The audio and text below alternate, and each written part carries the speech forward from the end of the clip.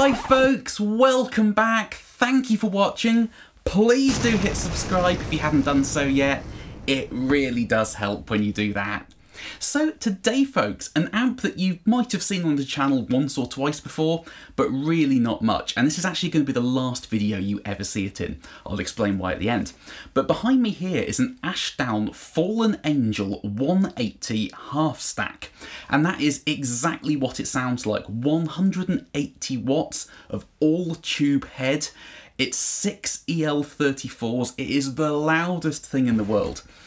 And it's not really my sort of amp, so it's largely been a piece of furniture for the last 10 years that I've owned it. It has two channels on it. The first channel is the clean channel, but you can make it crunch up. And that's more kind of typical British EL34 amp. Quite mid-rangey, quite barky. I do like channel 1 on it. Channel 2 is the kind of heavy gain channel, much more kind of scoopy in the mid-range, a bit buzzy. I'm less fond of channel 2, but channel 1 is really nice. Now, I've owned this amp, as I said, for about 10 years, and I bought this from my university that I went to because they had uh, an endorsement, isn't the right word, sponsorship, I suppose, from a few different amp companies to provide backline for their rehearsal rooms and recording studios. So it was mostly Blackstar, so I played a lot of like Artisan 30s back in the day, and they were sponsored by Marshall as well, I think. I used a JCM 2000 a lot on my first album. But for their bass amps, they were sponsored by Ashdown. And as part of that deal, they got a couple of these Fallen Angel 180 half stacks, and nobody ever used them. Because the music college I went to it was much more people with like Strats and Tellys wanting to play Fender Twins and the occasional AC30 high gain scoopy metal amps weren't their bag at all but when I was recording my first album at university, I used this amp, or the other half stack, one of the two, for a few lead parts on that album. And in the context of what I was doing back in 2012, it really worked well. I'll play a little clip now of a track I used this amp for the solo on, and you'll hear it, it really kind of sits in the mix really nicely for that heavy gain thing.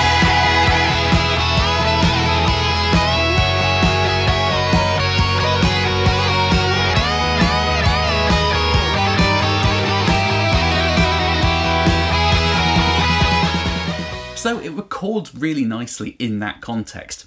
But I was literally the only person who had ever plugged into this amp pretty much. And just as I was leaving university, I mentioned to one of the tutors that it was sounding really nice sitting in a track. And they said, well, you're the only one that uses it. Do you want to buy it?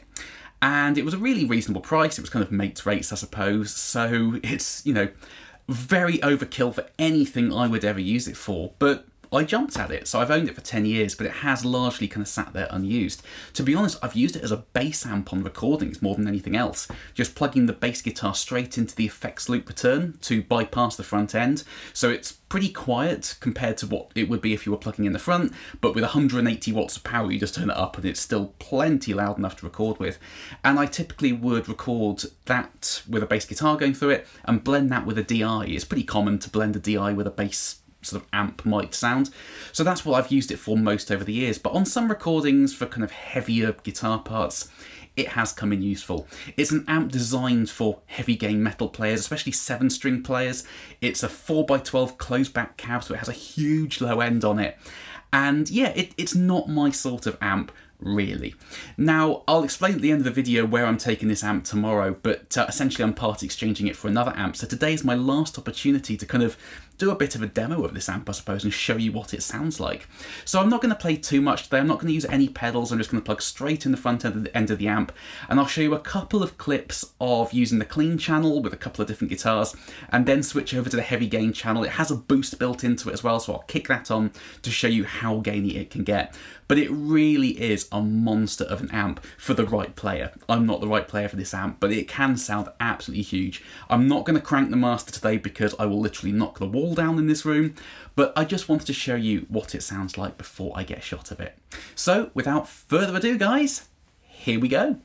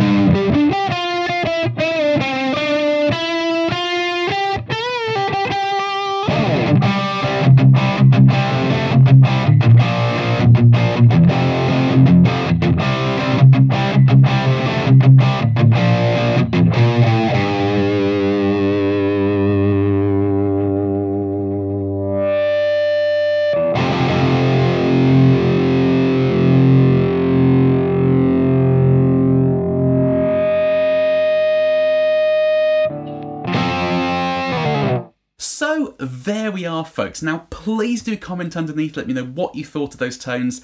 They're not your usual tones you would hear on this channel, but there's some very fun ones in there for sure. And this amp really makes you want to do that sort of chuggy, riffy metal stuff, which I can't play at all, so apologies for my sloppy playing there. Now, as I said at the start of the video, I'm part exchanging this amp tomorrow, and one of the reasons for shooting this video today was also to check it's in full working order so I can get rid of it with a clear conscience, because I don't want to screw anybody over. But it's all working, so I can get rid of it tomorrow. So I'll show you what the new head is as and when I've done the deal, but today was the last chance I had to play this amp and actually do a demo. There aren't many demos of these sorts of amps on YouTube, so I wanted to get it done before I uh, say goodbye to it in the morning. So thank you ever so much for watching folks. I hope this video was interesting and useful. Please do carry on subscribing. I know I always say it, but it does make a huge difference when you subscribe. And I will see you next time. Bye bye.